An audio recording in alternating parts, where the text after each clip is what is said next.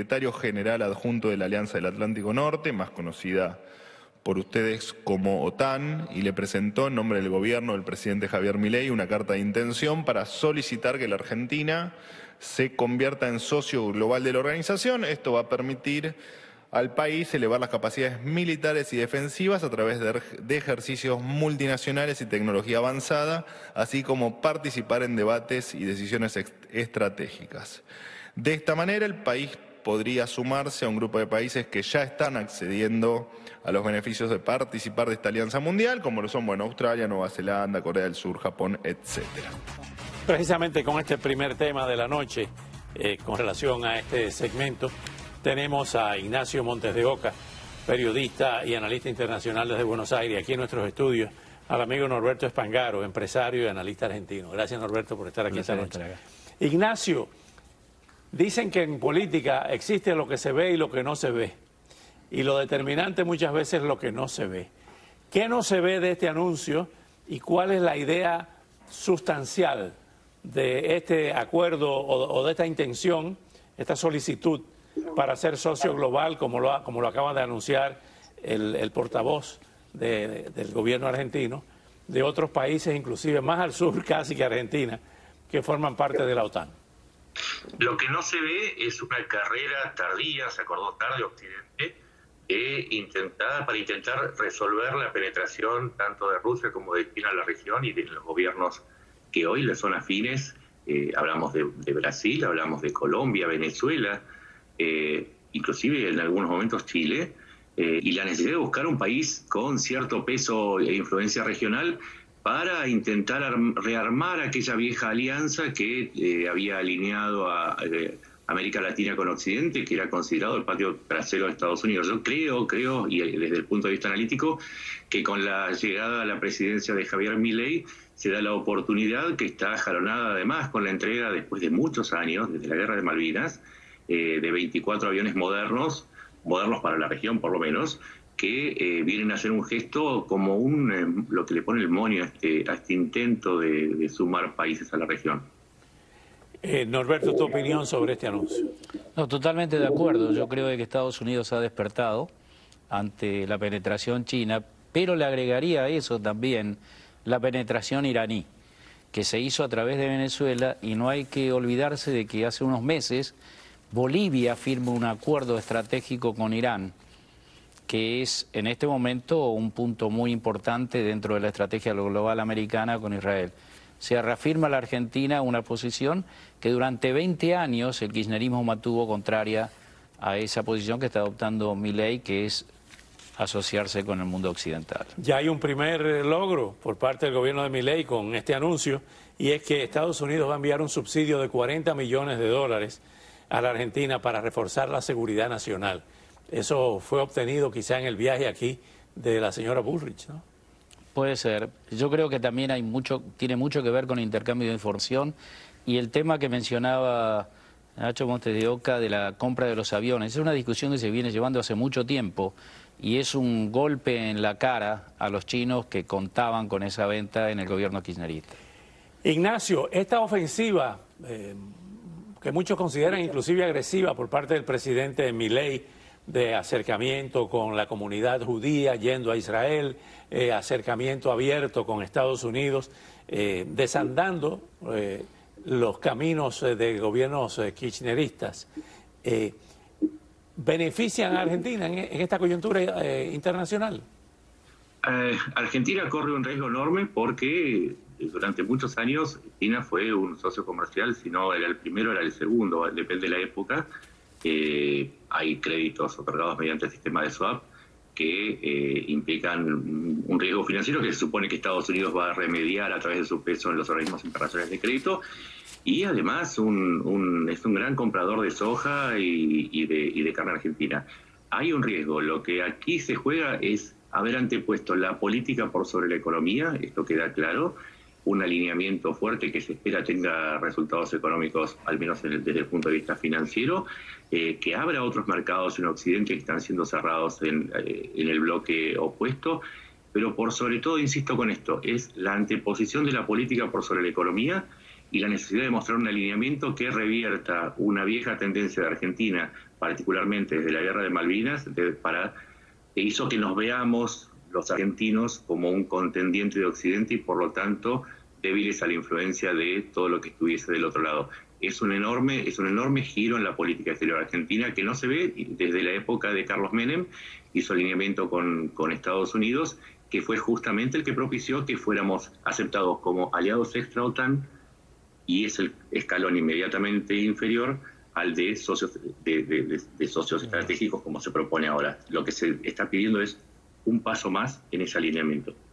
Eh, Ignacio, eh, en base a lo que está diciendo, eh, perdón, Norberto, en base a lo que está diciendo Ignacio, ¿cuáles son los riesgos en el caso de Israel?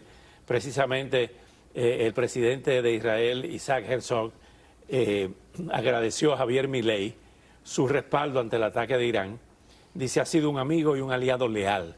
Con relación a las infiltraciones por la triple frontera, mayormente en las últimas décadas, de Hezbollah y los organismos antisemitas, ¿qué riesgo corre la administración Milei dentro de Argentina con esta, esta decisión? Yo creo que disminuyen los riesgos porque ahora tiene alianzas realmente estratégicas para combatir ese riesgo. La Argentina ha sido víctima de los dos mayores atentados terroristas en Latinoamérica por parte de Irán, que justamente hace una semana y media eh, la justicia argentina declaró a Irán eh, como país terrorista, acusado en el atentado contra la AMIA.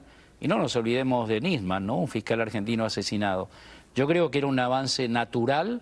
Ya hemos sido víctimas, ya nos ha pasado todo. Entonces tenés que buscar alianzas que te permitan vos mejorar tu posición estratégicamente y defensivamente. Eh, Ignacio, ¿cómo está el tema, hablando de la economía eh, argentina, cómo está el tema de la inflación y el tema eh, de la devaluación del, peso argentino, que cuando estuvimos por allá en agosto fue verdaderamente alarmante cómo se disparó la inflación y se devaluó el peso?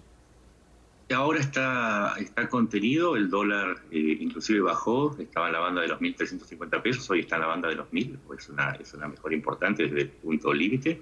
La inflación, eh, por lo menos la, inflación oficial está bajando, pero, perdón, pero me gustaría agregar algo a lo que dijo Norberto. Es absolutamente cierto que Argentina ahora más que nunca vulnerable pero la seguridad que le ofrece la cooperación con los sistemas de inteligencia occidentales eleva la capacidad argentina de prevenir un atentado que tiene que ver también esto con el alineamiento, con, Israel.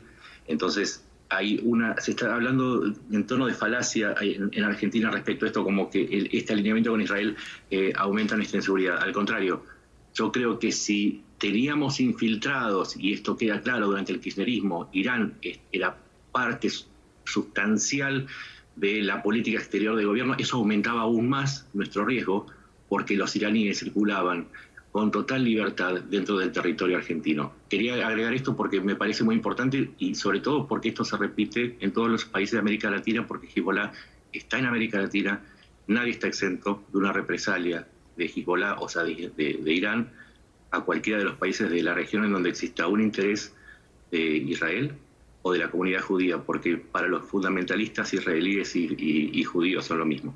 Justamente, esa era la próxima pregunta que tenía para Norberto y para ti, Ignacio. ¿En qué medida peligra la seguridad argentina con este acuerdo militar entre Bolivia e Irán?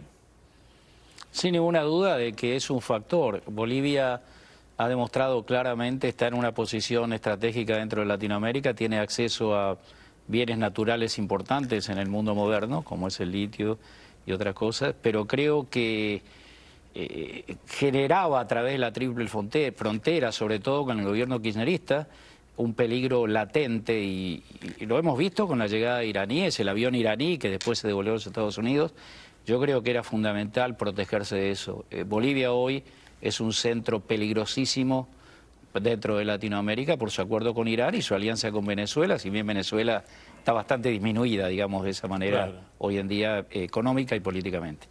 Ignacio, en ese orden de ideas que iniciaste hace un par de minutos, ¿cuán peligrosa es la presencia de iraní con un acuerdo militar eh, con, Bolivia? A ver, aclaremos que el acuerdo militar es, es muy profundo eh, Irán le está prometiendo o ha firmado acuerdos para fabricar drones, los mismos drones que está fabricando en Venezuela. aclaremos que además la vinculación de Hezbollah es a través del territorio venezolano y, desde el territorio venezolano tiene ramificaciones no solamente en Bolivia, sino también en Perú, en Chile, en Colombia y con los cárteles mexicanos a través del lavado de dinero. Es decir, no solamente es una cuestión de lo que se firmó con Bolivia de Estado a Estado, sino que por debajo, por debajo de la superficie, además de lo que decía Norberto, de la triple frontera, estamos hablando de Brasil, Paraguay y Argentina, la presencia es demasiado fuerte, demasiado antigua y demasiado voluminosa como para no tener en cuenta esta penetración iraní en nuestras sociedades y los riesgos reales que implica, vida cuenta los dos ataques que hubo en Argentina en el 92 y en el 94 que pueden repetirse. Qué horror, ¿no? Sí, yo le agregaría el tema de la droga. De los, carteles. de los carteles que a través de, del norte, que vienen desde Colombia, pasan por Bolivia, y todo el control... En Ecuador tiene control de las cárceles. Y, y, todo el control de la vía de la vía fluvial desde la triple frontera, desde Uruguay, desde Paraguay hacia el Río de la Plata. Hoy uno de los mayores eh, eh, salidas de la droga hacia Europa.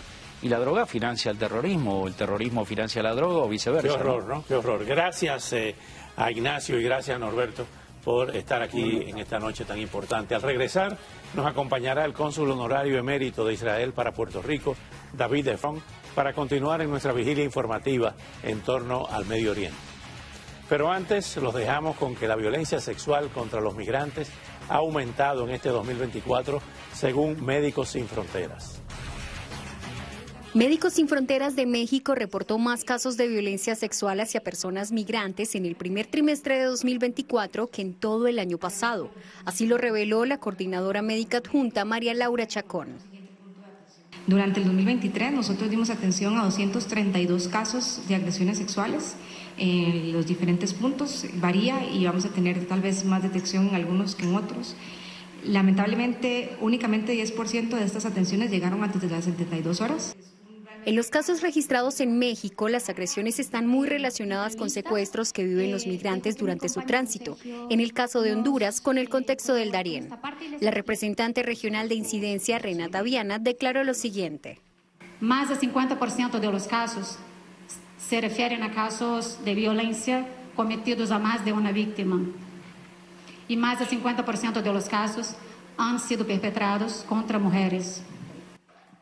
En 2023, cuando se registraron más menores de edad y mujeres en tránsito, hubo un incremento notable de la violencia sexual a partir de septiembre y que tocó techo a finales de año. Médicos Sin Fronteras también presentó su informe Violencia, Desesperación y Abandono en la Ruta Migratoria para 2023, en el que reportan 3.817 atenciones relacionadas con la salud mental a migrantes que estaban cruzando Honduras, Guatemala o México.